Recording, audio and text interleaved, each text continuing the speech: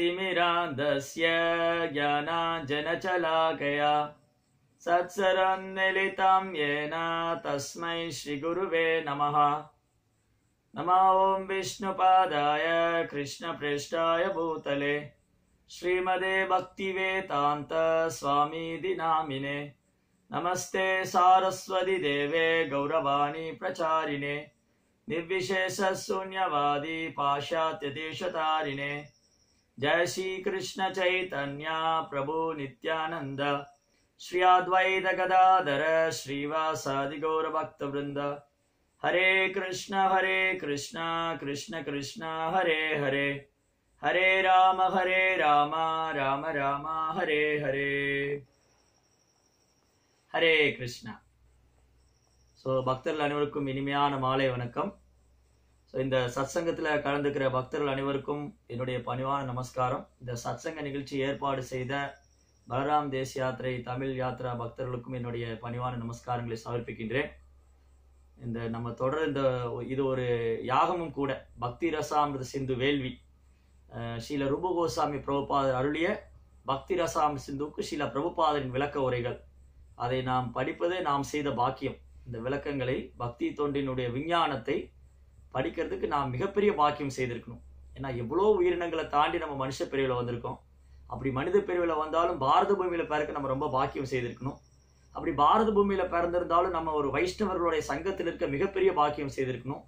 அப்படியே வைஷ்ணவருடைய சங்கத்தில் வந்தாலும் இந்த மாதிரி ஒரு அதிகாரப்பூர்வமான ஆச்சாரிய சம்பிரதாயத்தில் சம்பந்தம் பண்ண இனி ரொம்ப பெரும் பாக்கியம் செய்திருக்கணும். அந்த பெரும் பாக்கியத்திலும் பிரபுபாவுடைய புஸ்தகங்களை வாசிக்க மாபெரும் பாக்கியம் செய்திருக்கணும். இப்படி நம்ம நாம் செய்த பெரும் பாக்கியம் சில பிரபுபாதர் நமக்கு கிடைத்ததும் ஆச்சாரியர் குரு குரு மகாராஜ் நமக்கு கிடைச்சதும் நாம் செய்த பெரும் பாக்கியம். இவங்களுடைய கருணை அல்லாது நாம் கிருஷ்ண உணர்வு முன்னேற்றம் அடைய முடியாது. கிருஷ்ண உணர்வு தத்துவங்களை புரிந்து கொள்வதற்கும் பகவானுடைய அனுகிரகத்தை பெறுவதற்கும் ஆச்சாரியனும் பூர்வாச்சாரியருடைய கருணை ஆசீர்வாதமே நம்ம நம்முடைய முயற்சியை காட்டிலும் அவங்களுடைய கருணையில தான் எல்லாமே இருக்கு. நம்ம நம்மளால் இயன்ற அளவுக்கு அவங்களுடைய சேவையில் ஈடுபட்டு அவங்களுடைய கருணையை பெற பிரார்த்திப்போம். பொதுவாகவே ஜட உலகத்தில் பக்தினாலே ஜனங்களுக்கு பக்தி அப்படின்னா அவங்க என்ன அவங்களுக்கு எப்படின்னா பொதுவாக ஜனங்க பொது ஜனங்களுக்கு பக்திங்கிறது ஏதோ திருவிழா காலத்தில் போய் சாமி கும்பிடணும் அப்புறம் ஏதாவது பண்டிகை காலத்தில் போயிட்டு அப்படியே கன்னத்தில் போட்டுக்கிட்டு பிள்ளையார போய் தோப்பு கண்ணு போட்டு கன்னத்தை போட்டுக்கிட்டு கொஞ்சம் சுண்டெல்லாம் வாங்கி சாப்பிட்றதுன்னு நிறைய பேர் பக்தி நினச்சிக்கிட்டு இருக்காங்க. அதே பெரிய பக்தி நினச்சிக்கிறாங்க. இன்னும் சிலவங்க அதி தீவிரமான காலங்களில் பக்தி செய்வாங்க. இந்த தைப்பூசம் பங்குனி உத்தரம் அப்புறம் இந்த மே மாதத்தில் வரக்கூடிய அந்த குண்ட திருவிழா அந்த நெருப்பில் ஓடுறது குண்டத்தில் ஓடுறது உடம்பெல்லாம் கூரிய அம்புகளால் வேலால் குத்திக்கிறது பறக்கும் காவடின்னு சொல்லி வேலில் தொங்கிட்டு அந்த ஒரு ஒரு பெரிய கிரெயினில் பறக்கும் காவடின்னு சொல்லிட்டு பெரிய கிரெயின் இருக்கும். அந்த கிரெயினில் பின்னாடி இந்த ஆங்கிள் வச்சு முதுகில் குத்தி அதில் தொங்கிட்டு போவாங்க. பறக்கும் காவடி அப்புறம் உடம்பெல்லாம் வந்து ரண ரணம் ஆக்கிக்கிட்டு பயங்கரமான அதிதீவிரமான ஒரு ரஜோகுண பக்தி அது. இந்த மாதிரி இதெல்லாம் தான் அவங்க பக்தின்னு நினச்சிக்கிறாங்க. வேண்டுதலும் பிரார்த்தனைகளும் சடங்குகளும் சம்பிரதாயங்களும். பௌதிக பௌதீக தேவைகளுக்காக சில பிரார்த்தனைகளை செய்துட்டு அதுக்கான பரிகாரங்களும் பிராயச்சித்தங்களும் இது அல்ல பக்தி. இது உண்மையாலுமே இது அல்ல பக்தி. பக்தி பக்தி என்பது சில பிரபுபாதர் ரொம்ப அழகாக விளக்கம் கொடுக்குறாரு. பகவத்கீதை ஆறாவது அத்தியாயத்தில் கடைசி ஸ்லோகத்தில். பக்தி சேவை அல்லது பக்திங்கிற வார்த்தை பகவானுக்கு மட்டுமே பொருந்துங்கிற தேவதைகளுக்கு கூட பக்தி கிடையாது. தேவதை தேவி உபாசகா தேவதை உபாச உபாசகன்னா வழிபடுறது. உபாசகர். தேவி உபாசகர் தேவதைகளை உபாசிக்கக்கூடியவர் கணபதி உபாசகர் க- கார்த்திகேயன் உபாசகர் தேவி உபாசகர் இவங்கெல்லாம் இந்த குறிப்பிட்ட தேவதை வழிபடுறவங்க. பக்திங்கிற வார்த்தை பகவானுக்கு மட்டுமே பொருந்தும். இதை பிரபுபாதர் ரொம்ப அழகா அழுத்த திருத்தமா சொல்றார். யோகி நாமபி சர்வேஷாம் மத்கதேரந்தராத்மனஹ ஸ்ரத்தாவான் பஜதே யோமாம். பஜதே அப்படிங்கிறது பக்தி தொண்டு. அந்த பக்தியை சேவனமாக நமக்கு கற்றுக் கொடுத்த ஆச்சாரியர் பக்தி வேதாந்த சுவாமி ஸ்ரீல பிரபுபாதர். அப்போ பக்திங்கிறது வெளியில உள்ளவங்களை பொறுத்த வரைக்கும் எல்லாமே பக்தி தான். அவங்க எந்த தேவதையை வழிபட்டாலும் பக்தி தான் எல்லாமே பஜன் தான். அவங்க சாய் பஜன் சொல்லி புதுசு புதுசாக ஆரம்பிப்பாங்க. அப்புறம் தேவதைகளுக்கு புதுசு புதுசாக பஜன்ஸ் பண்ணுவாங்க. இதெல் இதெல்லாம் பஜனே கிடையாது. பஜதே அப் பஜன் பஜன்ஸ் பஜதே பக்தி பக்தி தொண்டு என்பது பகவானுக்கு மட்டுமே உரியது. பகவானுடைய அன்பு தொண்டு. பக்தி என்பது அன்பு. பகவானிடத்தில் அன்பு பரிமாற்றம் செய்வது. அந்த பகவான் பகவான் ஸ்ரீ கிருஷ்ணரிடத்தில் அன்பு பரிமாற்றம் செய்வதே பஜதே. பஜதே மாம் ஸ்ரத்தாவான் பஜதே ஓமாம் சமயுக்த தமோ மதக. ஸ்ரத்தா முழு நம்பிக்கையோட பஜதே பக்தி தொழில் ஈடுபடக்கூடிய பகவான் அங்க கிருஷ்ணா பஜதேங்கிற வார்த்தையை பயன்படுத்துறார். முழு நம்பிக்கையோட பக்தி தொழில் ஈடுபடக்கூடிய என்னுடைய பக்தன். அவனே எனக்கு மிகவும் நெருக்கமான பிரியமான யோகி அவன் அப்போ ஒரு பக்தி யோகியா இருக்கிறது மிக உயர்ந்த யோக யோகத்திலேயே மிக உயர்ந்த நிலை பக்தி யோகியா இருக்கிறது. ஒரு பக்தனாக இருப்பது மிக உன்னதமான நிலை. ஒரு வைஷ்ணவனாக இருப்பது மிக உன்னதமான நிலை. ஆனால் இந்த இக உலக ஜட உலக ஜட உலகத்தில் பொதுவாக ஜனங்க என்ன நினச்சிக்கிறாங்க? யோகா பண்ணுறதோ இல்லை தியானம் செய்கிறதோ இல்லை ஏதோ ஒன்றை குறித்து வந்து தனி இடத்துல போய் அமர்ந்து விரதங்களும் தியானங்களும் செய்யறதுதான் மிக உயர்ந்த நிலையை நினச்சிக்கிறாங்க. ஜனங்களை பொறுத்த வரைக்கும் எல்லாத்தையும் துறந்து ஒருவன் முற்றும் துறந்தவனே சந்நியாசி. முற்றும் துறந்து ஹிமாலயத்தில் ஆசிரமம் வைத்து கொண்டிருப்பவனே சந்நியாசி. அவனே முற்றும் துறந்தவன். அப்படிங்கிற கருத்தும் பக்தி என்றால் அனைத்தையும் விட்டுட்டு போயிடணுங்கிற கருத்தும் பக்திங்கிறது வந்து ஏதோ சந்தர்ப்ப வசத்தினாலேயோ இல்லை தேவைக்கான தேவைக்கான காலங்கள் வரும்போதோ தேவைக்கான காலங்கள் வரும்போதோ அல்ல சந்தர்ப்ப வசத்தினாலேயோ அல்ல திருவிழா காலங்களோ செய்வதே பக்தி. அதில் யாராவது கொஞ்சம் மும்மரமான பக்தி செய்தால் அவங்களுக்கு வந்து பொறுத்து கொள்ள முடியாது. இது வந்து இந்த பக்தி வந்து தேவையில்லையே. இதுதான் ஜனங்களுடைய கருத்து. இப்போ ஜனங்களை ஜனங்களை பொறுத்த வரைக்கும் துறவு என்பது அனைத்தையும் விட்டொழித்து தனி இடத்துல போய் அமர்றது. அது உண்மையான துறவு அல்ல. ஸோ பக்திங்கிறது பகவான் மேல அன்பு செய்வது துறவு என்பது பக்திக்கு அனுகூலமான விஷயங்களை மட்டும் ஏற்றுக்கொள்வது பக்திக்கு அனுகூலம் இல்லாத விஷயங்களை துறப்பது. அப்போ பௌதிகமான விஷயங்களை துறந்து பகவானுடைய கைங்கிரத்தில் ஈடுபடுவனே உண்மையான துறை அவன் வெளித்தோட்டத்தில் அல்ல. காவி உடைய போட்டுக்கிட்டு எங்கே ஒரு ஆசிரமம் வச்சுக்கிட்டு பெரிய தாடி வச்சுக்கிட்டு அப்படி தியான தானம் பண் தியானம் பண்ணுறது உண்மையான உண்மையான துறவி அல்ல. ஆனால் உண்மையான து- அவரும் ஒரு துறவி தான். அவர் இந்த ஜட உலக வாழ்க்கையில விட்டுட்டு போனாலும் அந்த துறவு பக்குவமான துறவு அல்ல. யார் ஒருவர் தன்னுடைய உடலால மனதால புத்தியால பகவானுடைய கைகரியத்தில் ஈடுபடுறவர் அந்த பக்தி யோகியே உண்மையான துறவி பகவானுக்கு மிகவும் நெருக்கமான பிரியவமான அப்போ பக்தி பாதையில கூட சன்னியாசிகள் இருக்காங்க பிரம்மச்சாரிகள் இருக்காங்க கிரகஸ்தர்கள் இருக்காங்க.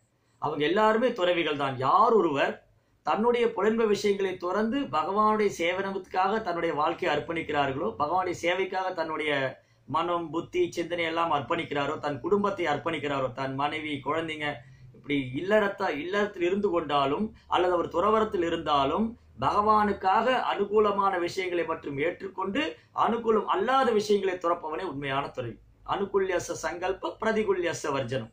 இதுதான் சரணாகதியோட தத்துவம். சனாதன் கோசாமி ரொம்ப அழகாக சொல்லித்தார் அப்போ யார் ஒருவர் தன்னுடைய மனைவி குடும்பம் குழந்தைங்க தன்னுடைய வாழ்க்கை அனைத்தும் பகவானுடைய தாமரை திருவடியில் அர்ப்பணித்து பக்தி தொண்டு செய்கிறாரோ அந்த பக்தனே பகவானுக்கு மிகவும் நெருக்கமான பிரியமான நண்பனும் யோகியும் ஆவார். யோகியும் நண்பனும் பக்தரும் ஆவார். அந்த உன்னதமான பக்தி அதுதான் உன்னதமான பக்தி. பக்தி என்பது பகவானிடத்தில் அன்பு பரிமாற்றம் செய்வது. பகவானிடத்தில் அன்பு பரிமாற்றம் செய்வது. அப்போ அந்த பக்திக்கு இடம் நேரம் காலம் அவசியம் கிடையாது. குல கோத்திரம் அவசியம் கிடையாது. ஜாதி மத பேதம் கிடையாது. பகவானுக்கும் ஜீவனுக்குள்ள அன்பு பரிமாற்றமே பக்தி தொண்டு. அந்த பக்தி தொண்டு தான் சில ரூபகோசாமி பிரபுபாதர் ரொம்ப அழகா அந்த பக்தியினுடைய விஞ்ஞானத்தை அந்த சயின்ஸ் அந்த யோகா பக்தி யோகத்தினுடைய மகத்துவத்தை ரொம்ப அழகா வர்ணிக்கிறார் பக்தி ரச அமிர்த சிந்து.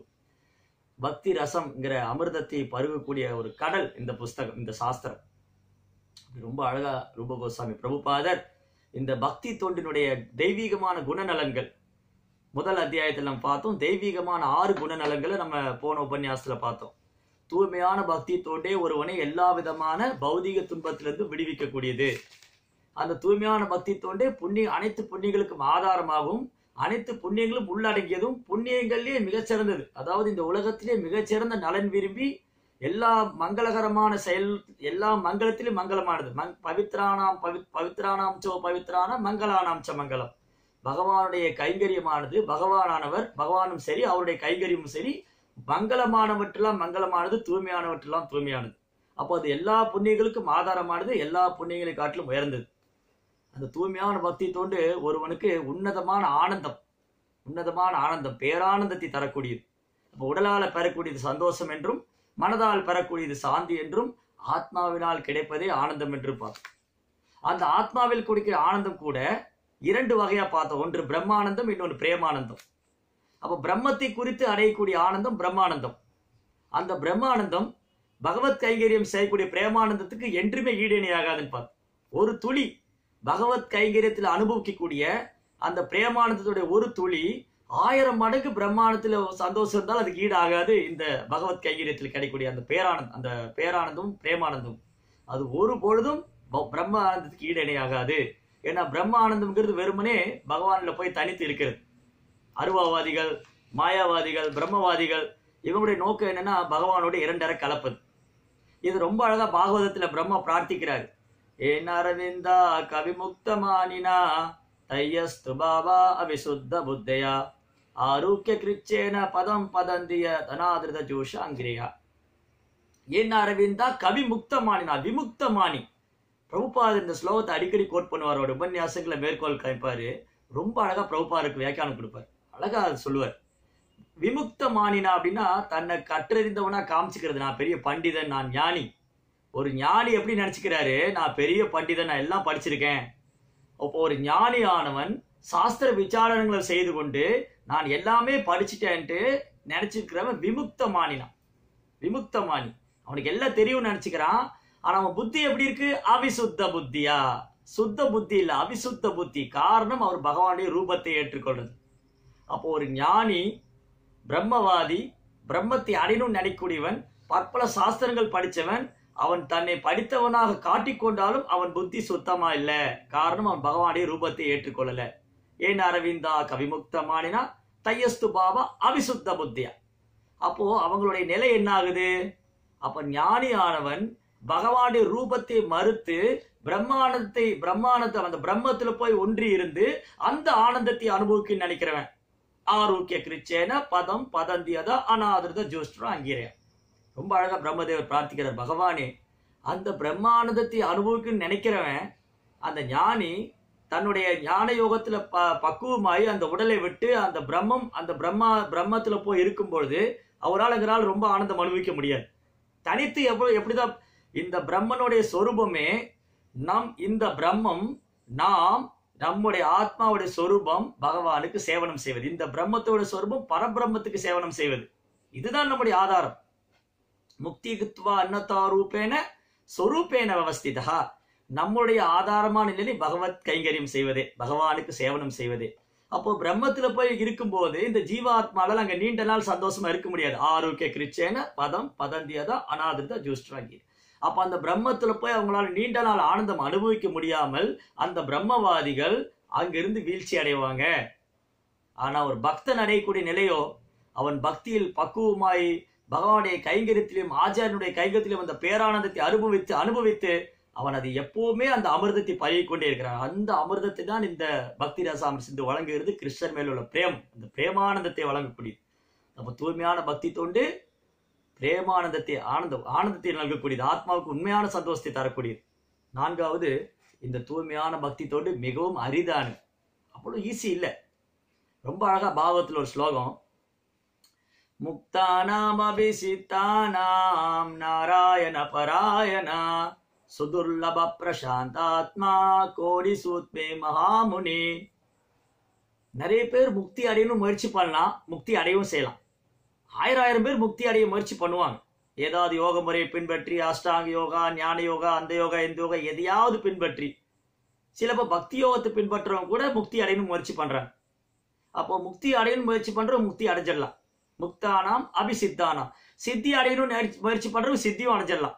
முக்தானாம் அபிசித்தானாம் நாராயண பராயணா. ஆனா பகவானுடைய பக்தன் நிறைய முக்தர்களை பார்க்கலாம் நிறைய சித்தர்களை பார்க்கலாம் நிறைய ஞானிகளை பார்க்கலாம் நிறைய யோகிகளை பார்க்கலாம். ஆனா பகவானுடைய பக்தர் கோடி சூத்மி மகாமுனி கோடி முனியில ஒருத்தர் பார்க்க முடியும். கோடிக்கணக்கான ஆன்மீக பயிற்சி பண்ணக்கூடியவங்கள நாராயண பாராயணா சுதுர்லபா ரொம்ப ரொம்ப அரிது. சுதுர்லப பிரசாந்த ஆத்மா அந்த ஆத்- ஆனந்தமான அந்த தெய்வீகமான நபர் அந்த பக்தர் அந்த பாகவதர் அந்த தூய்மையான பக்தர் கோடி சூத் ஒருத்தர் ஒத்துருதான் அதனால பகவான் ஒருத்தருக்கு தூய்மையான பக்தி தொண்டு கொடுக்குறாருன்னா அது அவர் எளிதல்ல அரிதானதில்ல. பகவான் என்ன கேட்டாலும் கொடுத்துருவார் எக உலக வாழ்க்கையை கேட்டால் அதுவும் கொடுத்துருவாரு அப்புறம் மோ- மோட்சம் வேணுமோ அதையும் கொடுத்துருவாரு ஆனால் தூய்மையான பக்தி தொண்டு கொடுக்குறாரு அப்படின்னா என்னன்னு பார்த்தோம்? பகவான் தன்னையே அவன் இடத்துல எடுத்து ஒப்படைச்சிடுறார். அந்த பக்தன் இடத்துல பகவான் தன்னை ஒப்படைச்சிடுறார். அதனால் அவ்வளோ சுலபமாக யாருக்கும் தூய்மையான பக்தி பகவான் நல்கிட மாட்டார்.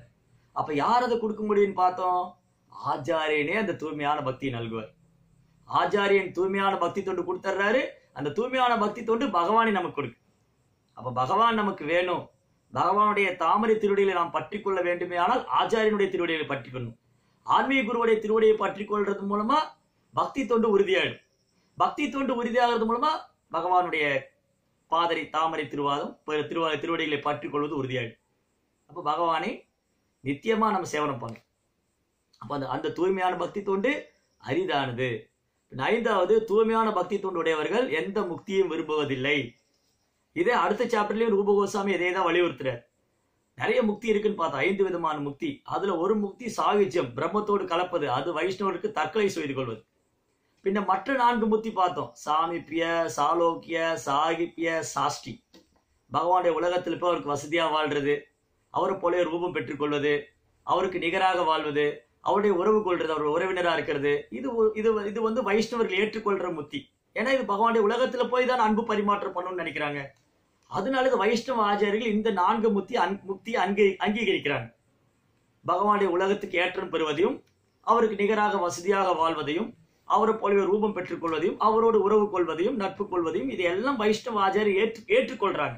ஆனா சாயுஜி சாயுஜ்யம்ங்கிறது வைஷ்ணவனுக்கு தற்கொலை செய்து கொள்ற மாதிரி. அது ஒருபோதும் ஏத்துக்க மாட்டாங்க. பகவானுடைய உடல்ல இரண்டரை கலப்பது. அந்த அருவவாதம் அந்த பிரம்மவாதத்தை வைஷ்ணவர்கள் ஒருபோதும் அங்கீகரிக்க மாட்டாங்க. இந்த நான்கு முத்தியை அங் அங்கீகரிப்பாங்க. ஆனால் ஒரு சுத்த பக்தன் அதையும் விரும்புவதில்லை. வரம் நல்குபவரில் சிறந்தவரே எம்பெருமானே. எனக்கு வைகுண்ட பிராப்தியும் வேண்டாம். இப்போ என்ன வேணும் உங்களுக்கு? உன் பாலகோபால் திருவடியை நான் எப்போதும் தியானம் ரொம்ப அழகா பாடுறார். சத்தியவர்தமணி.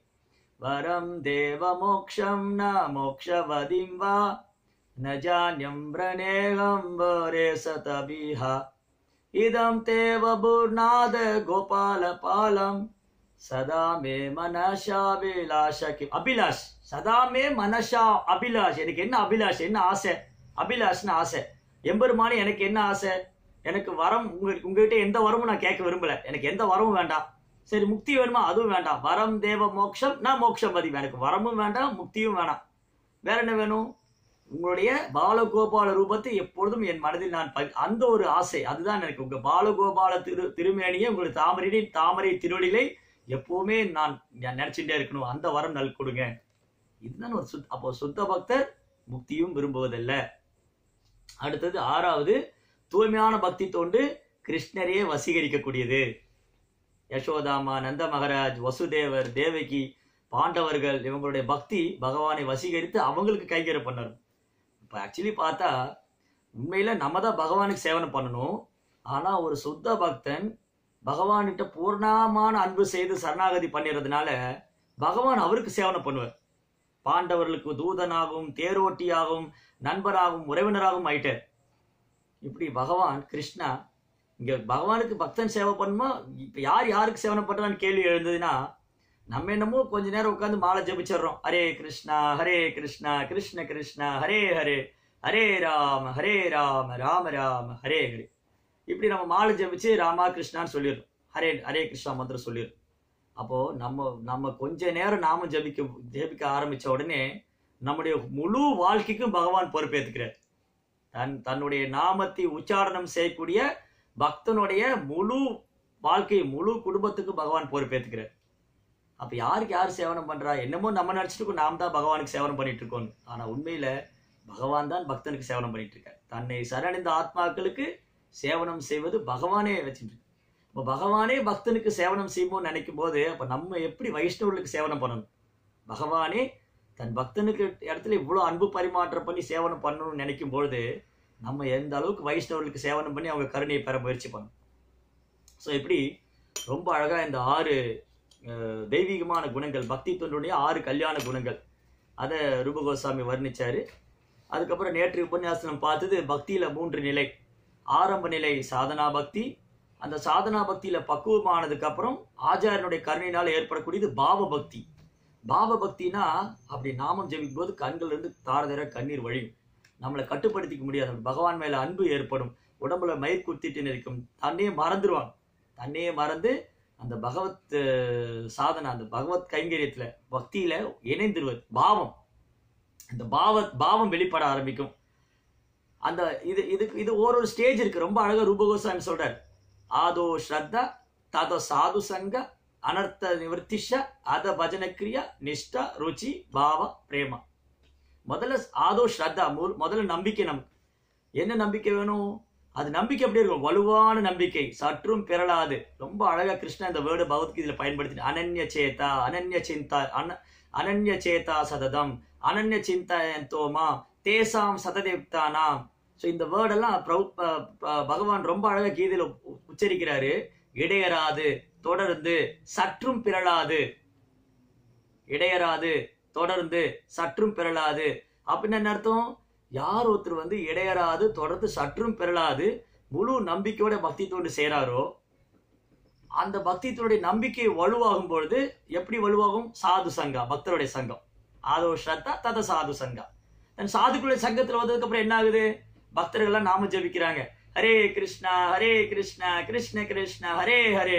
ஹரே ராம ஹரே ராம ராம ராம ஹரே ஹரே. அப்போ சாதுக்களுடைய சங்கத்துல வந்து அவங்ககிட்ட இருந்து கேட்க ஆரம்பிச்ச உடனே அவங்களுக்கு சேவனம் பண்ண ஆரம்பிச்ச உடனே நம்மளும் நாம ஜபிக்கணும் புஸ்தகம் வாசிக்கணும் சேவனம் பண்ணணுங்கிற அடுத்தடுத்து அதுல அதில் உற்சாகம் ஆர்வம் கிடைக்கும். ஆதோ ஸ்ரத்த தத சாது சங்க அனர்த்த நிவர்த்திஷா அப்போ பக்தி தொண்டுடைய சேவனம் ஆ- ஆரம்பித்த உடனே ஹிருதயத்துல அனர்த்தங்கள்லாம் போக ஆரம்பிக்கும். காமம் கோபம் பேராசை பௌதீக பற்றுதல் புலம்ப விஷயங்கள் நாட்டம் இதெல்லாம் வெளியே வரும். பக்தி தொண்டு உள்ளே போக போக பகவானுக்கு பகவானுடைய நாமம் பகவானுடைய நாமமானது உள்ளே உள்ளே செல்ல செல்ல அந்த நாமத்தை அப்படி அப்படி கவனமாக சிரத்தையோடு நம்பிக்கையோடு உச்சரிக்கும் பொழுது அந்த நாமமானது உள்ளுக்குள்ளே போய் அனர்த்தங்களை எல்லாம் போக்கும் அப்போ அனர்த்தங்கள் போகும்போது நிஷ்டா உறுதி. பக்தி தொண்டு சற்றும் பிறளாத உறுதி. அனர்த்தங்கள்லாம் போனதுக்கு அப்புறம். அனர்த்தங்கள் இருக்கும்போது உறுதி கிடையாது. திடீர்னு கோபம் வருது திடீர்னு ஆசை வருது பௌதிகப்பட்டது எல்லாம் இருக்குன்னா நம்ம இன்னும் அதில் உறுதி ஆகலை. நம்ம இன்னும் ஸ்ட்ராங்காக ஃபவுண்டேஷன் போடல. அஸ்திவாரம் ஸ்ட்ராங்காக இருந்தது பில்டிங் நல்லா இருக்கும் அஸ்திவாரம் சரியில்லை பில்டிங் ஆடி போயிடும். அப்போ ஸ்ட்ராங்காக ஃபவுண்டேஷன் எங்கள் ஃபவுண்டேஷன் நம்பிக்கை சாது சங்கம். தென் தொடர்ந்து தொடர்ந்து கவனமாக பக்தி தொண்டு செய்கிறது தென் நிஷ்டா. அப்போ உறுதியாகும் தென் அதுக்கப்புறம் ருச்சி டேஸ்ட் வரும். தென் அதுக்கப்புறம் பாவம். அதுக்கப்புறம் பிரேமம். இது மகாபிரபு வெளிப்படுத்தி இது பிரேமம். நம்ம எல்லாம் பண்ணுறது பாவம் இல்லை பாவம். ஏதோ நம்ம நம்மளால் முடிஞ்ச அளவுக்கு ஆச்சாரியனுடைய அனுகிரகத்தில் பண்ணிட்டு இருக்கோம். ஆச்சாரியனுடைய கருணையில தான் பண்ணுறோம் நம்ம பண்ணுன்னு ஒன்றுமே நம்ம பண்ணுனன்னு சொல்கிறதுக்கு ஒன்றும் இல்லை அவங்க அனுகிரகம் ஏதோ நம்ம அப்படியே ஒட்டிக்கிட்டு இருக்கோம். ஸோ இப்படி பக்தியில் மூன்று நிலை.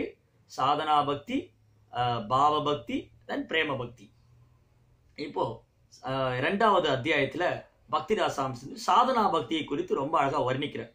சாதனா பக்திங்கிறது ஆரம்ப நிலையில் இருக்கக்கூடிய சாதகர்கள் பின்பற்ற வேண்டும் அந்த சாதனா பக்தி கூட ரெண்டு வகையாக பிரித்து காமிக்கிறார் ஒன்று வைதீக பக்தி இனி ஒன்று ராகானுக பக்தி. வைதீக பக்தினா என்னதுன்னா நமக்கு ஒன்றும் பெருசாக அதில் ஒன்றும் ஈடுபாடு கிடையாது. ஒரு சுவை இல்லை பெருசாக ஒன்றும் ஈடுபாடு கிடையாது. அதில் அனுபவம் இல்லை. அதில் வந்து என்ன சொல்ற அதில் அனுபவ உணர்ச்சி பூர்வமாக நம்ம அதில் இன்னும் எதுவும் உணரல. உணர்வு ரீதியாக நம்ம எதுவும் எதுவும் அதில் பக்குவம் ஆகலை. அப்போ ஆரம்ப நிலை. அப்போ அந்த நாமம் ஜபிப்பதாகட்டும் புஸ்தகம் வாசிக்கிறதாகட்டும் சேவனம் செய்வதாகட்டும் இதெல்லாம் வந்து கொஞ்சம் கஷ்டமா இருக்கும். அதாவது மேலோ மேலெழுந்த வாரியாக மேலோட்டமாக பக்திங்கிறது வந்து ஜனங்களுக்கு ரொம்ப ஈஸி இப்போ ஏன்? இப்போ ஒன்று நல்லா நம்ம கவனிச்சு பார்த்தோம்னா ஜனங்க மற்ற இயக்கத்துக்கெல்லாம் போக ரொம்ப ஆர்வமாக இருப்பாங்க இஸ்கானுக்கு வர்றதுக்கு ரொம்ப யோசிப்பாங்க. காரணம் என்னன்னா மற்ற இடங்கள்ல வந்து இந்த கட்டுப்பாட்டு விதிமுறைகள் ஆச்சார அனுஷ்டானங்கள் நியம் யமா நியமங்கள் எல்லாம் கிடையாது. இருந்தாலும் அவங்க அது எவ்வளோ போர்ஸெல்லாம் சொல்ல மாட்டாங்க. அதனால என்ன பண்ணுவாங்க? அவங்க அதில் ரொம்ப ஆர்வம் காமிப்பாங்க. நாங்கள் அந்த ஆசிரமத்துக்கு போனோம் நாங்கள் அந்த ஈஷா யோகாவுக்கு போனோம் நாங்கள் வந்து ஆர்ட் ஆஃப் லிவிங் போனோம் நாங்கள் வந்து வேதாத்திரிக்கு போனோம் இதெல்லாம் சொல்லுவாங்க. நாங்கள் கூட ஆன்மீகத்தில் இருக்கோம் பாருங்க. நாங்களும் ஆன்மீகத்தில் இருக்கங்க. நாங்கள் வேதாத்திரி மகரிஷி இயக்கத்தில் இருக்கோம் நாங்கள் ரவிசங்கரோட இயக்கத்தில் இருக்கோம் நாங்கள் வந்து ஈஷா யோகாவில் இருக்கோம். அப்போ இவங்க இதை வந்து ஆன்மீகம் நினச்சிக்கிறாங்க. ஆனால் உண்மையில அதெல்லாம் ஆன்மீகம் அல்ல. அது மனதுக்கு கொஞ்சம் நிம்மதி கிடைக்கும். ஏன்னா இவங்க வாழ்நாள் முழுவதும் கடினமாக புலன்பத்துக்காக ஓடி ஓடி ஓடி உழைக்கிறாங்க. அப்படி உழைச்சி உழைச்சி அப்படி டயர்ட் ஆகி அப்படி கொஞ்சம் ரிலாக்ஸேஷன் பண்ணால் நல்லா இருக்கும் போது அந்த மாதிரி ஆசிரமத்தில் போனோடனே அவங்க அப்படி உட்கார வச்சுறாங்க அவனை. ஓடிட்டு இருக்கிறவங்க பிடிச்சி உட்கார வச்சிட்டாங்க. இப்போ கொரோனா லாக்டவுன் மாதிரி. ஓடிட்டு இருக்கிற பிடிச்சி உட்கார வைக்கும்போது என்ன ஆகும்? அப்படி கொஞ்சம் ரிலாக்ஸேஷன் அப்பா ரொம்ப நல்லா இருக்கு. உடனே என்ன ஆகும்? அங்க போனங்க. அப்படியே ரொம்ப நல்லா. இவன் ஒன்றும் பண்ணிருக்க மாட்டான். சும்மா உட்காந்துருப்பான் அப்போ இது ஆன்மீகம் அல்ல. இது வந்து மனதுக்கு ஒரு சாந்தி மனதுக்கு ஒரு நிசப்தம் ஒரு நிதானத்தை கொடுக்கு. ஆனால் இஸ்கான் மாதிரி ஆச்சாரிய சம்பிரதாயத்தில் வரும்பொழுது நமக்கு என்ன கிடைக்கும்னா அந்த ஆன்மீக ஆனந்தம் பக்தி பரவசம் பக்தியினுடைய கோட்பாடுகள் ஆச்சார அனுஷ்டானங்களை பின்பற்றும் போது இந்த இந்த ஆச்சார அனுஷ்டானங்களை ஏற்றுக்கொள்றவங்களுக்கு இது எளிமையா இருக்கும். பக்- அதாவது ஆச்சார அனுஷ்டானங்களை வைதிக நியமங்களை வேத நியமங்களை பின்பற்றணும்னு நினைக்கிறவங்களுக்கு இது ரொம்ப ஈஸி தான். இது ஒன்றும் கஷ்டம் இல்லை. ஆனா பேரளவு நான் வந்து ஒரு ஆன்மீகத்தில் இருக்கணும். ஆனா எந்த ரூல்ஸ் அண்ட் ரெகுலேஷன் நான் ஃபாலோ பண்ணக்கூடாதுங்கிறவங்க இது கஷ்டம். அதாவது பேரளவு நான் ஒரு ஆன்மீகவாதின்னு எனக்கு காமிச்சிக்கணும். ஆனா நான் எந்த ரூல்ஸ் அண்ட் ரெகுலேஷன் ஃபாலோ பண்ண மாட்டேன். அப்படி நினைக்கிறவங்களுக்கு இது கஷ்டம். ஆனா ஆச்சார அனுஷ்டானத்தை பின்பற்றும் நினைக்கிறவங்களுக்கு இது ஈஸி ரைட் அப்போ பக்திங்கிறது ரொம்ப எளிமையானது தான் அதாவது கிருஷ்ணர் என்ன சொல்றாரு? சுசுகம் கர்த்தும் அவ்வியங்கிறார் கிருஷ்ணா சொல்ற ரொம்ப அழகா ராஜவித்ய ராஜகூக்கியம் பவித்ரம் இதம் உத்தமம் பிரத்யக்ஷ்வாமகம் தர்மம் பிரத்யக்ஷ்வாகம் தர்மம் சுசுகம் கர்த்தும் அவ்வியம் இந்த பகவத்கீதை அறிவின் அரசன் ராஜவித்யா ராஜகூக்கியம் மிக மிக ரகசியமானதும் கூட. ராஜவித்யா ராஜ பவித்திரம் தூய்மையானது உத்தமமானது. பிரத்யக்ஷா கண் கூட உணரலாம் கண் கூட பார்க்கலாம் கண் கூட உணரலாம் சுசுகம் க- பயில்வதுக்கு அவ்வளவு சுகமானது சுசுகம் கருத்தும் அவ்வியம் இந்த பக்தி பாதை. அப்போ இந்த ஆச்சார அனுஷ்டானங்களை பின்பற்றும் போது ஆரம்ப சாதகர்கள் கொஞ்சம் கஷ்டமா இருக்கும். அதனால நம்ம என்ன பண்ணிடுறோம்? வந்த உடனே எந்த ரூல்ஸும் சொல்ல மாட்டோம். இப்போ பிரபுபாதர் இந்த இயக்க ஆரம்பிச்சாரு வெளிநாட்டில் போய் ஆரம்பிச்சாரு. போன உடனே நீங்க வந்து அசைவம் சாப்பிடாதீங்க மது அருந்தாதீங்கன்னு சொல்லலை. பிரபுபாதர் உட்காந்து கீர்த்தனம் பாடினார். அந்த டாம் ஸ்மின் ஸ்கொயர் பார்க்ல உட்காந்து அழகா ஹரே கிருஷ்ணா ஹரே கிருஷ்ணா கிருஷ்ணா கிருஷ்ணா ஹரே ஹரே ஹரே ராமா ஹரே ராமா ராம ராமா ஹரே ஹாரே. அந்த பிரபுபாதுடைய தூய்மையும் அவருடைய அந்த ஹரிநாம சப்தம் அந்த தூய்மையான சுத்த பக்தருடைய ஹிரதயத்துல வந்த நாமமானது அவங்க ஹிருதயத்துக்கெல்லாம் போச்சு. இந்த ஹிரதயத்துக்கு அவங்களுடைய ஹிருதயத்தை கவர்ந்தார் சில பிரபுபாதர் சங்கீர்த்தனம் மூலமா. இப்ப பிரபுபாதர் முதல்ல சங்கீர்த்தனத்தை ஆரம்பிச்சார். அதுக்கப்புறம் அவங்களுக்கு அவங்க மேல அன்பு காமிச்சார். முதல்ல கருணை. பிரபுபாதர் கருணை காமிச்சார். அதுக்கப்புறம் கீர்த்தனம் செய்தார். அவங்களிடத்துல அன்பு பரிமாற்றம் செய்தார். பிரசாதம் கொடுத்தார். அப்படியே வரும்போது கொஞ்சம் கொஞ்சம் ஆச்சார அனுஷ்டானங்களை கற்றுக் கொடுத்தார். அப்போ நம்ம வரக்கூடியவங்ககிட்ட இஸ்கானுக்கு ஒருத்தர் வராங்கன்னா அவங்க ரொம்ப பாக்கியம் பண்ணியிருக்கணும். அது தொடர்ந்து வராங்கன்னா ரொம்ப பெரிய பாக்கியம் பண்ணியிருக்கணும். தீட்சை வாங்குற அளவுக்கு வந்துட்டாங்கன்னா மாபெரும் பாக்கியம் பண்ணியிருக்கணும். தீட்சையெல்லாம் வாங்கி அவங்க வந்து அந்த பக்தி பாதை விட்டு விலகாமல் இன்னும் இருக்காங்கன்னா அது பெரும் பாக்கியம். அவங்கள கோயில் கட்டி கும்பலாம் அந்த மாதிரி பக்தர்கள். ஏன்னா அவ்வளவு ஆச்சார அனுஷ்டானங்களை பின்பற்றாது. முதல்ல அந்த மாதிரி கிடையாது. இடது கையில பரிமாறாதீங்க எச்சில் பண்ணாதீங்க தட்டை பிடிச்சி சாப்பிடாதீங்க. இதெல்லாம் பிராமண கலாச்சாரம். இது கொஞ்சம் கொஞ்சமாக எல்லாம் கற்றுக்குறாங்க ஏன்னா இப்போ வந்து இப்போ இப்போ எல்லாரும் பின்பற்றுறது வெஸ்டர்ன் கல்ச்சர் நடந்துட்டு சாப்பிட்றது ஓடிட்டு சாப்பிட்றது போகிற வழியில சாப்பிட்றது உட்காந்து சாப்பிட்றது பாத்ரூமில் போய் உட்காந்துட்டு இருக்கிறது. இதெல்லாம் நம்ம கலாச்சாரம் இல்லை. அப்போ இஸ்கான்ங்கிறது வந்து நம்மளே கலாச்சாரம் உள்ள மனிதனாக ஆக்கக்கூடும். கலாச்சாரம் நம்முடைய பாரத கலாச்சாரம் வேத கலாச்சாரத்தை கற்றுக் கொடுக்கும். மற்ற விஷயங்களை மற்றது ஜனங்க விரும்புறது என்னது? அவங்க ஒரு சும்மா பேரளவு ஒரு ஒரு ஒரு ஏக்கத்தில் இருக்கணும். ஆனால் இஸ்கானில் வரும்போது அவனுடைய வாழ்க்கை தரமே மாறும். அவனுடைய குணங்கள் அவனுடைய சிந்தனை அவனுடைய மனம் புத்தி அவனுடைய சிந்தனை அவனுடைய குணம் அவனுடைய அனைத்து மாத்திடுவார் சில பிரபுபாதர் அவனை வந்து அப்படி ஒரு வை பிராமணனுக்கு மேலே ஒரு இடத்துல கொண்டு போயிடுவார். ஒரு யவனனாகவும் மிளேச்சனாகவும் ஒரு கீழலையான வாழ்ந்த ஆத்மாவை பிரபுபாதர் அப்படியே தூக்கி கொண்டு போய் வைஷ்ணவன் ஆக்கிறார் அப்போ எந்த இடத்துல இருந்து எங்கே போகிறோம் அப்போ இந்த பக்தி நம்ம பண்ற பக்திங்கிறது வந்து நம்மளை அப்படியே மேலே உயர்த்தி கொண்டு போறது. அப்ப அந்த உன்னதமான நிலைக்கு போகும்போது அதுக்கு சில வழிமுறைகளை வந்து ஆச்சாரியர் இந்த ரூல்ஸ் அண்ட் ரெகுலேஷன் இது இது பண்ணணும் இது பண்ணக்கூடாது. இது வந்து ஆரம்ப நிலை பக்தருக்கு நம்ம கொஞ்சம் பக்குவமாக சொல்லித்தரணும். அப்போ முதல்ல நாம ஜபிக்க வைக்கணும் ரெகுலராக கோயிலில் வர வைக்கணும் அவங்களுக்கு பிரசாதம் கொடுக்கணும் அவங்கள கவனிச்சுக்கணும் பிரபுபார் புஸ்தகங்களாக கொடுக்கணும். இப்படி ஸ்டெப் பை ஸ்டெப்பாக போய் அந்த சாதனா பக்தி அவங்க ஏற்றுக்க வைக்கணும் முதல்ல. அதுக்கப்புறம் சாதனா பக்தியில் உள்ள இந்த மாதிரி அதிகாலையில் எழுந்திருக்கணும் மங்களாரத்தி செய்யணும் நாம ஜபிக்கணும். இதெல்லாம் பக்தருடைய சங்கத்தில் வரும்போது அந்த அதான் முதல்ல நம்பிக்கை அதோ ஸ்ரத்தா அப்புறம் தத சாது சங்கா. பக்தருடைய சங்கத்தில் சங்கத்து பக்தனுடைய சங்கத்தில் வந்தோடனே தான் பஜனை கிரியா ஸ்டார்ட் ஆகுது. ஸோ அதனால இது படிப்படியாக செய்ய வேண்டியது. நம்ம என்ன பண்ணிடுவோம்? நம்ம பெரிய தப்பு பண்ணிடுவோம். பக்தர்கள் என்ன பண்ணுவாங்க? இஸ்கான்ல வந்தோன்னு யாரா யாரா புதுசாக வந்தா அவனை பிடிச்சி உட்கார வச்சு படிச்சதுலாம் அவன் தலையில் கொட்டிடு உட்கார வச்சு அந்த யோகா எந்த யோகா? நான் வந்து அது படித்தேன் பாகவத்தில் இது படித்தேன் சைத்தன் சார் சைத்தன் சேதாமத்தை அப்படி சொல்ல பௌதிக வசதியே கூடாது. அது இப்படி எல்லாம் சொன்னால் அவன் அவனுக்கு மண்டையெல்லாம் கலண்டு போயிடும். இப்படி என்ன ஒரே நாள் அவன் மூளையை திறந்து எல்லாத்தையும் உள்ளே ஊத்துன என்ன ஆகுது அவ்வளவுதான். இப்போ பக்திராசாமி சிந்து புஸ்தமே நம்ம அப்படியே கொஞ்சம் கொஞ்சமாக பார்த்து பார்ட்டா பார்த்துட்டு வரோம். இந்த ஒரு மணி நேரம் உட்காந்து படிக்கிறது பெரிய விஷயம். இப்போ உள்ள காலகட்டத்தில். பிரபு நீங்கள் ஒரு பத்து நிமிஷம் அப்படி போகிற வழியில் ஒரு லட்சம் சொல்லிட்டு போங்க. நீங்கள் ஒரு மணி நேரம் பேசினா எப்படி கேட்குறது முன்ன எப்படி வா எப்படி கேட்டாங்க? முன்னெல்லாம் உபன்யாசம் பண்ணும்போது உபன்யாசகர் வர்றதுக்கு முன்னாடி உபன்யாசி கேட்கறவங்க வந்து காத்துக்கிட்டு இருப்பாங்க. எப்போ பக்தர் வருவாரு பாகவதர் எப்போ வருவாரு எப்போ கேட்கறதுன்னு அவங்க வந்து உட்காந்துட்டு இருந்தாங்க. பரீட்சித் மகாராஜா வந்து ஏழு நாள் வந்து சாப்பிடாம தூங்காம கேட்டுட்டு இருந்தார். அந்த காலம்லாம் போயிடுச்சு பிரபு நீங்க ஒன் ஹவர் பேசுறீங்க. அந்த ஒன் ஹவர் எங்களால் உட்காந்து கேட்க முடியல. நீங்க ஒன்று பண்ணுங்களேன். அப்படி ரெண்டு ரெண்டு வீடியோவை போடுங்களேன்.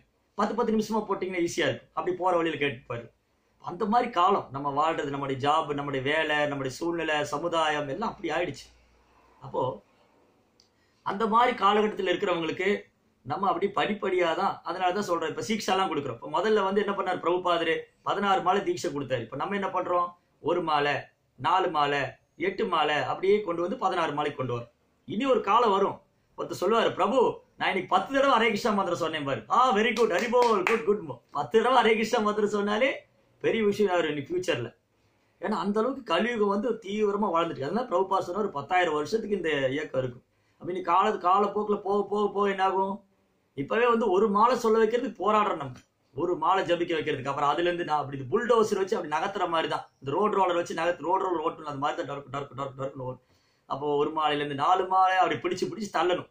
அப்ப சாதனா பக்திங்கிறது அப்படியே தள்ளி தள்ளி பின்னாடி இருந்து ஒரு தள்ளி விட்டே இருப்பார். இந்த சீக்ஷா குரு அவங்கெல்லாம் வந்து புஷ் பண்ணிட்டே இருப்பாங்க. பிரபு நீங்க இன்னும் ஒரு மாலை சொல்றீங்க ஏன் நாலு மாலை சொல்லக்கூடாது. ஏன் நீங்க எட்டு மாலை சொல்ல ட்ரை பண்ணி பாருங்களேன்.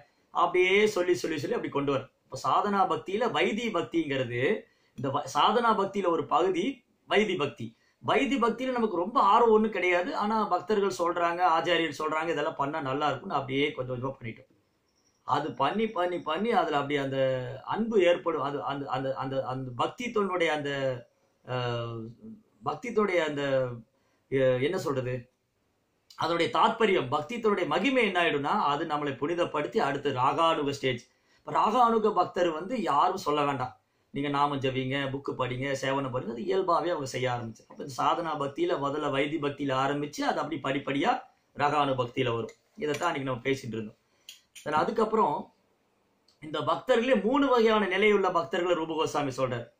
முதல் நிலை பக்தர் இரண்டாம் மத்திய நிலையில் உள்ள பக்தர் முதல் நிலை இரண்டாம் நிலை அதாவது மத்திய நிலை மூன்றாவது நிலை. மிக உயர்ந்த பக்தர். அதாவது கனிஷ்ட அதிகாரி மத்தியம அதிகாரி உத்தம அதிகாரி. மூன்று நிலையில் உள்ள பக்தர்கள். கனிஷ்ட அதிகாரிங்கிறது ஆரம்ப நிலையில் இருக்கிறவங்க. இவங்களுக்கு வந்து அவ்வளவா பெருசா ஒன்றும் நம்பிக்கையெல்லாம் ஒன்றும் கிடையாது. சும்மா ஏதோ பக்தர்கள் கூட சேர்ந்து அப்படி பண்ணுவாங்க. புதுசாக வருவோம் கோயிலுக்கு வந்துக்கிட்டு இருப்பாங்க. சில பேர் ரொம்ப வருஷமாக கூட வருவாங்க. ஆனால் அவங்க முழுமையாக முழுமையாக ஏற்றுக்க ஏற்றுக்கல அவங்க. முழுமையாக ஏற்றுக்கல ஏதோ போகிறோம் இஸ்கான் கூப்பிட்டாங்க போகிறோம் ஜபிக்க சொன்னாங்க ஜபிக்கிறோம். பகவானுக்கு சேவனம் பண்ண சொன்னாங்க பண்ணுறோம் ஆனால் இவங்க கிருஷ்ண உணர்வு தத்துவங்களை சரியாக ஆராய்ந்து படிக்கல. புரோபார் புஸ்தகம் வாசிக்கிறது இல்லை உபன்யாசங்களை சரியாக கேட்கறது இல்லை பாகவதம் படிக்கிறது இல்லை அப்போ என்னன்னா இவங்களோட ஸ்ரத்தா கோமல ஸ்ரத்தா. கோமல ஸ்ரத்தான்னா கொஞ்சம் தான் நம்பிக்கை இருக்கு. இந்த ஆரம்ப நிலை பக்தர்கள் கொஞ்சம் தான் நம்பிக்கை இருக்கும். அவங்க முழுமையா தன்னை ஈடுபடுத்திக்கல. ஏதோ அப்படி அஹ், பட்டும் படாம வந்துட்டு போயிட்டு இருப்பாங்க ரெண்டாவது நிலை பக்தர் இருக்காங்களே மத்தியம நிலையில இருக்கிறவங்க. அவங்களுக்கு நல்ல திடமான நம்பிக்கை இருக்கு. திடமான நம்பிக்கை. கிருஷ்ணர் தான் முழுமுதற் கடவுள். பக்தி தொண்டு தான் உன்னதமானது. இதுல இது இதை விட உயர்ந்தது இல்லை அப்படின்னு திடமான நம்பிக்கை. ஆனா பெரிய அளவுல இவங்க வந்து தர்க்கமெல்லாம் செய்யற அளவுக்கு பக்தர்கள் இல்லை.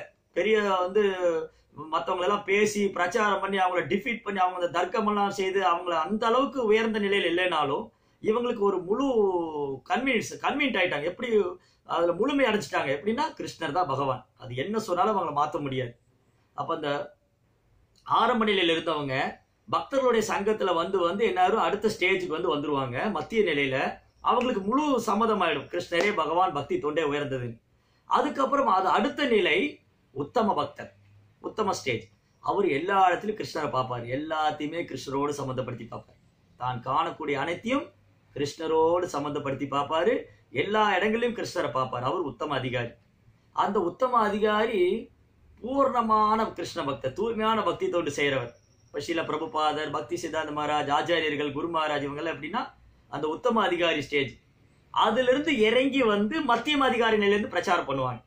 பிரச்சாரத்துக்கு வர்றதுங்கிறது மத்தியமா ஸ்டேஜ் உத்தம அதிகாரி அப்படி தன்னை உணர்ந்த மெய்மறந்த நிலையில் பகவத் கைகரியம் செய்கிறவர் எல்லா இடத்திலும் கிருஷ்ணரையே காண்பவர்.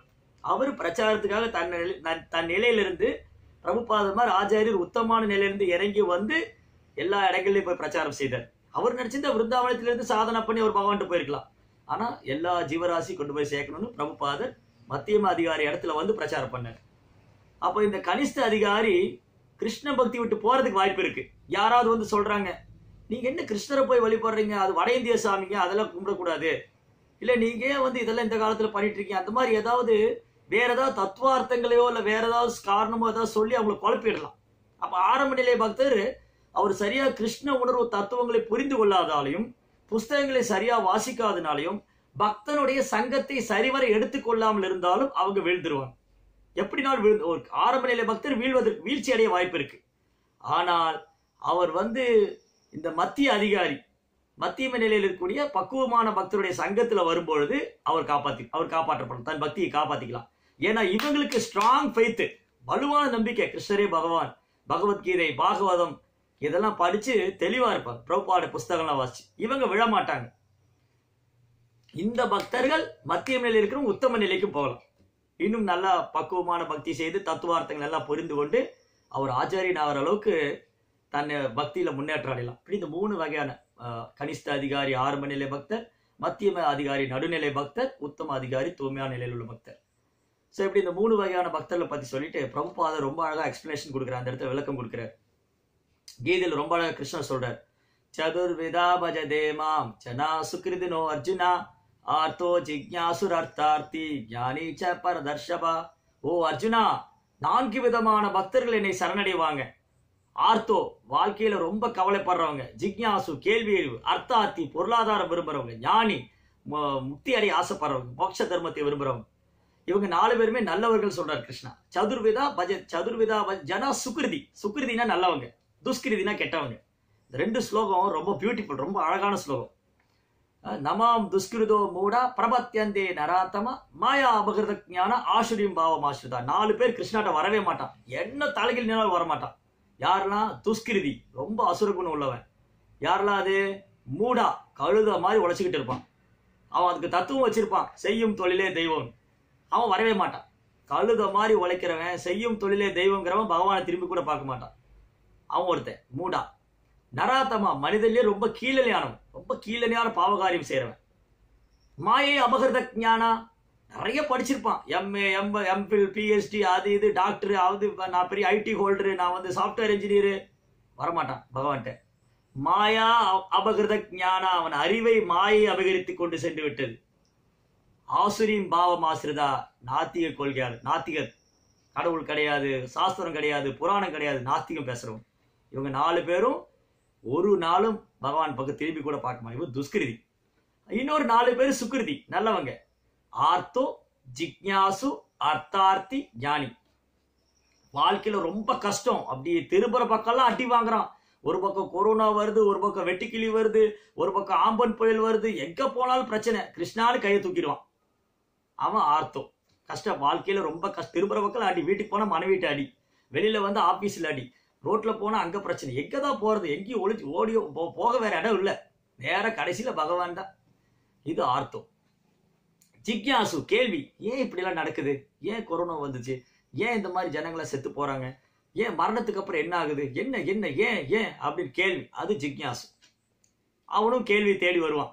கேள்விக்கு பதில் தேடி வருவான் ஆத்மீக பாதைக்கு. தென் அர்த்தார்த்தி தேகி தேகி தனம் தேகி வித்யா தேகி எனக்கு அது கொடுங்க இது கல்வி கொடுங்க எனக்கு பணம் கொடுங்க செல்வம் கொடுங்க தேகி தேகி எல்லாம் கொடுங்க கொடுங்க அப்படின்னு கேட்கறது பொருளாதார முன்னேற்றத்துக்காக வர தென் ஞானி. முக்தியை விரும்பி வர்றவங்க. இவங்க நாலு பேர் நல்லவங்க. இதுல ரொம்ப அழகா சொல்றார் பிரபுபாத். இதுல எந்த நிலையில வந்தாலும் அவன் பக்தி தொண்டை பயிற்சி செய்ய ஆரம்பிப்பானேயானால் அவன் பக்குவம் அடைவான். இப்போ உதாரணத்துக்கு துருவ மகராஜ். துருவ சரித்திரத்துல பார்த்தோன்னா துருவ மகாராஜுக்கு ரொம்ப பெரிய ஆசை தங்க கொள்ளு தாத்தாவோட பெரிய பதவி அடையணும். அவருடைய கொள்ளு தாத்தா பிரம்மதேவர். துருவ மகாராஜுடைய கொள்ளு தாத்தா பிரம்மதேவர் அவருடைய தாத்தா ஸ்வயம்பு மனு அப்பா உத்தான பாதா இவங்க மூணு பேரும் பெரிய பதவி வகிக்கிறவங்க. உத்தான பாதராஜா இந்த உலகத்துக்கே சக்கரவர்த்தி துருவருடைய தந்தை. துருவருடைய தாத்தாவான மனு மனித குலத்தின தந்தை. அவருடைய கொள்ளு தாத்தா பிரம்மா இந்த அகிலத்துக்கே படைப்பின் சிருஷ்டிகர்த்தா. அப்போ துருவருக்கு ஒரு சின்ன பிரச்சனையா எடுத்து அவங்க சித்தி வந்து அவரை திட்டிட்டாங்க அவரை அவமானப்படுத்திட்டாங்க. அப்போ துருவர் என்ன நினைச்சாரு? என் கொள்ளு தாத்தாவை காட்டிலும் பெரிய பதவி அடையணும்னு. என் அப்பா மடியில ஊரு உட்கார உரிமையில என்ன சித்தி சொன்னாலே அப்போ நான் போறேன். என் கொள்ளு தாத்தாவோட பெரிய பதவி அடையணும்னு. அப்போ அது அந்த பௌதிக ஆசை இருந்தது. யாருக்கு? துருவருக்கு. துருவருக்கு பௌதிக ஆசை இருந்தது ஒரு பக்கம். ஆனால் இனி ஒரு பக்கம் வைராக்கியம். கடவுளை பார்க்க பகவானை பார்த்தே ஆகணும் அவரை அடைந்தே ஆகணும் அவர்கிட்ட அந்த வரத்தை பெற்றே ஆகணும்னு வரு உயிர் உறுதி வைராக்கியம் அந்த ஒரு டிட்டர்மினேஷன் துருவா அப்படின்னா வலுவான உறுதியான நம்பிக்கை. துருவா. அப்போ என்ன பண்ணாங்க? அவரு எல்லோரு விதத்திலும் கிருஷ்ண பரமாத்மாவா இருக்காரு. துருவ விதத்திலும் கிருஷ்ண பரமாத்மாவா இருக்காரு. அப்ப பகவான் என்ன பண்ணாரு? ஆச்சாரியன் அனுப்பிச்சு வச்சார். எந்த ஒரு ஆத்மீக சாதகன் உண்மையாலுமே ஆத்மீக பாதையில் பக்குவம் அடையணும். ஆத்மீகத்துல பகவானை எந்த ஒரு உள்நோக்கம் அல்லாமல் பகவானை அடையணும்னு நினைக்கக்கூடியவங்க சரியான பாதையை தேர்ந்தெடுக்க தேர் சரியான பாதையில் போகணும்னு நினைக்கிறவங்களுக்கு ஆச்சாரியன் அனுப்பிச்சு வச்சிருவார் கிருஷ்ணன். இப்போ துருவனுக்கு நாரதர் அனுப்பிச்சு வச்சார். ஸோ கிருஷ்ணனுடைய கருணையான ஆச்சாரியன் ஆச்சாரியனுடைய கருணையால் கிருஷ்ணன். அப்போ துருவர் என்ன பண்ணாரு? நாரதர் துருவனுக்கு அறிவுரை சொன்னாரு ஆத்மீய விஷயங்களை போட்டுனாரு யோக சித்தியில கற்றுக் கொடுத்தாரு மகாமந்திர தீட்சை கொடுத்தாரு எல்லாம் பண்ணி துருவ மகாராஜ் பகவானை நேருக்கு நேர் சேவிச்சார். அப்போ ஆரம்பத்தில் எதுக்கு போனாரு? கொள்ளு தாத்தாவோட உயர்ந்த பதவி அடையணும்னு. இப்போ என்ன ஆயிடுச்சு? பகவான் நாரதருடைய கருணையினால பக்தி தொண்டு செஞ்சு செஞ்சு அவருக்கு பகவானே சேவிக்கக்கூடிய பாக்கியம் கிடைச்சி எல்லா பௌதிக ஆசையும் போயிடுச்சு வரம்னா ஆச்சு எனக்கு எந்த உறவும் வேணாம் பகவானே. உங்க தாமரை திருவடியிலே சேவிச்சதே யான் பெற்ற பாக்கியம். இல்லை துருவா நீ ஏதோ வரம் கேட்க தானே வந்த உனக்கு என்ன வேணும் கேளுன்னார் கிருஷ்ணன். அப்போ சொன்னார் பகவானே நான் உடைஞ்சு போன கண்ணாடி துண்டுக்கு ஆசைப்பட்டு வந்தேன். உடைந்து போன கண்ணாடி துண்டு அதுவே உயர்ந்ததுன்னு நினச்சி வந்தேன். ஆனால் இப்போ நான் புரிஞ்சுக்கிட்டேன். உடைந்து போன கண்ணாடி துண்டு அல்ல உயர்ந்தது. உங்களுடைய வைரக்கல் பக்தி தோண்டு தூய்மையான பக்தி ஆச்சாரியனுடைய கருணை உங்களுடைய சேவடி உங்களுடைய திருவடி இதுவே நான் கண்ட நான் கண்ட நான் எடுத்த வைரம். இந்த வைரத்தை விட்டுட்டு எவனாவது கண்ணாடி துண்டு போய் ஆசைப்படுவானா? எனக்கு வேணாம் பட் ஆனால் கிருஷ்ணா என்ன பண்ணார்? அவர் திரும்பி அந்த உலகத்துக்கே சக்கரவர்த்தி அவருக்குன்னு ஒரு- தனி கிரகமே இந்த மூன்று உலகம் அழிந்தாலும் துருவ நட்சத்திரம் துருவ கிரகம் அழியாது. பிரளயமே வந்து எல்லா பிரம்மதேவர் உட்பட அனைத்து கிரகம் அழிந்தாலும் வைகுண்டத்துக்கு நிகராக துருவகுலம் துருவலோகம் அனைத்து கிரகங்களும் துருவ கிரகத்தை சுற்றி பரிக்கிரமம் பண்ணி சுற்றி வளம் வருது. அந்த இடத்த கொடுத்தாரு துருவ மகாராஜ். ஸோ இப்படி ஆரம்பத்தில் அவர் பௌதியின் ஆசையை நோக்கி வந்தாலும் பக்தி தோண்டானது அவரை தூய்மைப்படுத்தி தூய்மையான பக்தி தோண்டு கிருஷ்ணா கொடுத்தார். அதே போல ரொம்ப அற்புதமானது. கஜேந்திரன். ரொம்ப கஷ்டம். முதல்ல வந்து காலை பிடிச்சி அப்படி பிளட்டு ரத்தம் வருது காலில். கஜேந்திரனால தன்னை விடுவிச்சுக்க முடியல. பயங்கரமான போராட்டம் கஜேந்திரனுக்கும் முதலைக்கும். யானை வந்து நிலத்துல வலுவா இருக்கும். தண்ணியில முதலே தான் வலுவா இருக்கும். இப்ப என்ன ஆச்சு கஜேந்திரன் தண்ணிக்குள்ள மாட்டின்றதுனால கஜேந்திரன் வலு இழந்துகிட்டே இருக்காரு. முதலைக்கு வலு கூடிக்கிட்டே இருக்கு. ஒரு கட்டத்துல கஜேந்திரன் தன் முழு சக்தியை பிரயோகிச்சு பார்த்தாரு. முதலீட்டு தன்னை விடுவி விடுவிச்சுக்க முடியல. ரொம்ப தர்ம உயிருக்கான போராட்டம் அது. உயிருக்கான போராட்டம். பயங்கரமான கஷ்டம். தன்னை விடுவிச்சுக்க முடியல. சரி கூட வந்த உறவினர்கள் நண்பர்கள் பெண் யானைகள்லாம் உதவி செய்யணும் பார்த்தா அதுவும்னாலே முடியல விட்டுட்டு போயிடுது. அவ்வளோதான் இந்த ஜட உலக வாழ்க்கை அவ்வளோதான் இந்த ஜட உலக துன்பத்திலேருந்து யாராலும் நம்மளை காப்பாற்ற முடியாது. நம்மளால நம்மளுடைய சொந்த முயற்சினாலும் நம்மளை காப்பாற்றிக்க முடியாது. உறவினர்கள் நண்பர்கள் யாரும் நமக்கு உதவ முடியாது. கஜேந்தர் நிராதரவா நிலை ஆயிட்டார். அவர் தன்னை சொந்த முயற்சினாலும் காப்பாற்றிக்க முடியல. தன்னுடைய உறவினர்களும் காப்பாத்தல நண்பர்கள் பெண் யானைகள் எல்லாம் விட்டுட்டு போயிட்டாங்க. நிராதரமான நிலையில் உயிருக்கு போராடி கொண்டிருக்கிற நிலையில் உடலை விடக்கூடிய நிலையில் பயங்கரமான வேதனை மரண வேதனை. அந்த நேரத்தில் கஜேந்திரன் அந்த அந்த குளத்திலிருந்து ஒரு அழகான தாமரை எடுத்து மேல் உயர்த்தி ஓ ஆதி மூலமே பகவானே ஹரி நாராயணா விஷ்ணு நீதான் என்னை காப்பாற்றணும் அப்போ கஜேந்திரன் தேவர்கள் கூட தன்னை காப்பாற்றுவார்னு தேவர்கள் கூட என்ன என்ன காப்ப அப்போ ஏ- இந்த மனுஷங்களை பத்தி சொல்ல எனக்கு என்னுடைய உறவினர்கள் நண்பரை பத்தி சொல்ல. தேவர்களால் கூட என்னை காப்பாற்ற முடியாது. யார் எனக்கு அடைக்கலம் தர முடியும்? அந்த பரம்பொருள் பரமபுருஷர் பகவான் மட்டும்தான். அப்போ ஆர்த்தோ பயங்கரமான கஷ்டத்துல வந்து கஜேந்திரன் சரணடைஞ்சார் பகவான் இடத்துல. பௌதிக ஆசைகளால் சரணடைந்தார் துருவர். அப்போ ஆர்த்தோ ஜிக்யாஸ் அர்த்தார்த்தி ஞானி. ஞானி கூட ஒரு வகையில சரணடைஞ்சிடுறார். எப்படி? அவர் எல்லா புலன்ப விஷயங்களையும் விட்டு ஞானிங்கிறது ஒன்று சாதா. நம்ம நம்ம சொல்கிற பக்தர்கள் உயர்ந்தவங்க ஞானிகள் தாழ்ந்தவங்கன்னு ஆனால் ஞானிகள் கூட பக்குவமானவங்க தான் ஏன்னா எல்லாத்தையும் விட்டுடுறாங்க. புலன்ப விஷயங்கள் விலகிடுறாங்க. தனி இடத்துல போய் பரம்பொருள் அந்த பரமாத்மா அவங்களுடைய பாதை வேறையா இருக்கு. பகவானை பகவானுடைய ரூபம் இல்லாத நோக்கம் பிரம்மத்தை அடைவது எதுவாக இருந்தாலும் அந்த ஞானியும் பயங்கரமான தபஸ்வி. கடுமையான தவங்களும் விரதங்களும் பண்றாங்க. அதனால அவங்களும் பகவானை அடைவார்கள். ஆனால் என்ன பிரச்சனைனா பக்தன் உடனே அடையிறது அவன் பற்பல பிரிவுகளுக்கு அப்புறம். அதுதான் கிருஷ்ணா சொல்றார். பகுனாம் ஜென்மனாம் வந்தே ஞானவான் மா பிரபத்தியதே வாசுதேவ சர்வமிதி ச மகாத்மா சுதுர்லபா. பற்பல பிறவிகளுக்கு அப்புறமே ஒரு யா- ஒரு ஞானி ஒரு ஞான யோகி வாசுதேவனை அனைத்துக்கு காரணம். அப்படிங்கிறது பற்பல பிறவிகளுக்கு அப்புறம் தான் தெரிஞ்சுக்கிறார். ஆனா ஒரு பக்தன் ஆரம்பத்திலேயே தெரிஞ்சுக்கிறார். வாசுதேவன் தான். ஓம் நமோ பகவதே வாசுதேவாய. அந்த வாசுதேவனே அனைத்துக்கும் காரணம். அவருடைய திருவடிகளை நான் சரணடைகிறேன். ஸோ எப்படி ரொம்ப அழகா இந்த பக்தர்களுடைய மகிமை. இந்த மூணு கேட்டகரியில வரக்கூடியதுல அந்த உத்தம அதிகாரி இந்த மூணு இது பார்த்தோம். கனிஷ்ட அதிகாரி மத்தியம் அதிகாரி உத்தம அதிகாரி. அதுக்கப்புறம் அந்த பக்தர்களே வந்து பௌதிக வாச வசதியை எதிர்பார்க்கக்கூடிய பக்தர்களும் கஷ்ட துயருற்ற பக்தர்கள் அப்புறம் கேள்வி அறிவு உள்ளவங்க அப்புறம் ஞானிகள். இவங்க கூட நல்லவங்க தான் பார்த்தோம். அவங்க அந்த தூய்மையான பக்தி தொண்டை ஏற்றுக்கொள்ளும் பொழுது அதுல இருந்து அந்த அந்த கலங்கத்திலிருந்து விடுபடாது. ஆரம்பத்துல களங்கம் இருக்கு. முக்தி அடையணும் பௌதிக ஆசை இதெல்லாம் கலங்கமெல்லாம் இருந்தாலும் அந்த தூய்மையான பக்தி தொண்டை ஏற்றுக்கொள்றதுனால அவங்க படிப்படியாக அதுலேருந்து விடுபட்டுடுவாங்க. அப்போ ரொம்ப அழகாக சைத்தன்ய சரிதாமது சொல்லுது. புக்தி முக்தி சித்தி கோய் சகல யாஷோன் கிருஷ்ண பக்தோ நிஷ்கோமோ அத்தேவ சாந்தா. புக்தி முக்தி சித்தி. புக்தி விரும்புறவங்க இருக்காங்க. புக்தினா புலன்ப இகலோக வாழ்க்கை புலன்ப விஷயம் விரும்புறவங்க. அது புக்தியை விரும்புறவங்களுக்கு ஆசை இருக்கு. என்னது? இந்த கர்மிகளுக்கு. சாதாரண ஜனங்க கர்மினா கருப்பா இருக்கிறவங்க இல்ல கர்மினா புலன்ப விஷயத்தை விரும்புறவங்க. அவங்களுக்கும் ஆசை இருக்கு புலன்ப விஷயத்தை அனுபவிக்கணும் புக்தி அதனால அவங்க புக்தி புக்தின்னு பேர் அவங்களுக்கு. புலன்ப விஷயங்களை விரும்புறவங்க புக்தி. முக்தி முக்தி விரும்புறவங்க முக்தி. புக்தி முக்தி சித்தி. சித்தியை விரும்புறவங்க யோகிகள். கருமிக்கள் ஞானிக்கள் யோகிகள். கருமிக்கள் புலன்ப விஷயத்தை விரும்புறாங்க புக்தியை விரும்புறாங்க. ஞானிக்கள் முக்தியை விரும்புறாங்க. யோகிகள் சித்தியை விரும்புறாங்க. அனிமா மகிமா லகிமா இஜிதா வஜிதா பிரார்காமியா பிராராப்தி. அதாவது ரொம்ப சின்னதாகிறது ரொம்ப